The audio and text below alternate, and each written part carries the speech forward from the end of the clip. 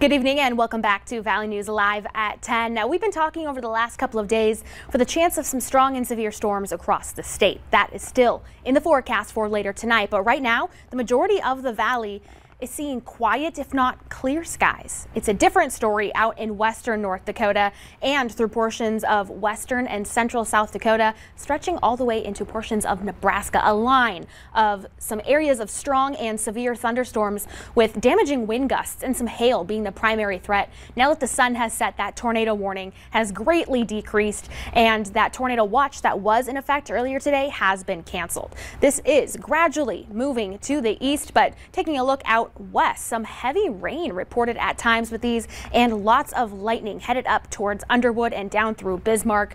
But the heavy rain is needed. Here's a look at some rainfall rates over the last hour or so between an inch and two inches of rain per hour.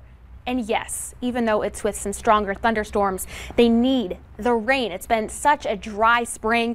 Areas between Bismarck and Minot have been upgraded to an exceptional drought where you see the darker red shades and the majority of the state of North Dakota still in an extreme drought. So any rain is needed.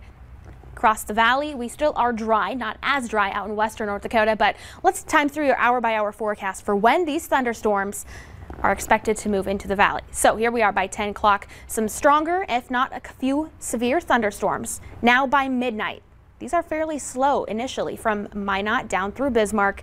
I don't expect them to move into the James River Valley down through Ellendale until between midnight and maybe 2 a.m. So we have several more hours of dry conditions and it stretches back up through midnight or through Minot by the 1 a.m. hour. As these continue to move to the east through the overnight hours, they kind of fall apart. They're moving into a more unfavorable environment to really withstand those strong and severe criteria. So they are going to fall apart. We'll just see a few scattered showers, if any thunder and lightning. I expect maybe an isolated stronger or severe storm through portions of Stutsman, LaMoure, and Dickey counties as this moves through. Maybe some heavier rain from time to time in northern Minnesota where they already saw several inches of rain the other day. So maybe not a welcome sight in northern Minnesota as it is out west. But by early tomorrow morning, here we have this paused at 5 o'clock, some scattered light showers, and then the rest of our day looking like some sunshine and warmer temperatures. But your 24 hour rainfall potential,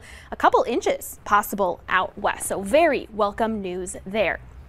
In your hourly planner for Fargo tomorrow, sunrise at 542. We'll start our day with mild temperatures in the 60s, but look at the wind. It's going to be out of the southwest tomorrow, sustained in the teens near 20 miles per hour, gusting to 30 near 40 miles per hour from time to time.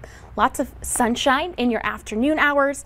Temperatures warming into the low 80s before a sunset at 9.07 p.m. Snapshot of your hometown forecast across the region. Lots of upper 70s and low 80s and a decent amount of sunshine as well.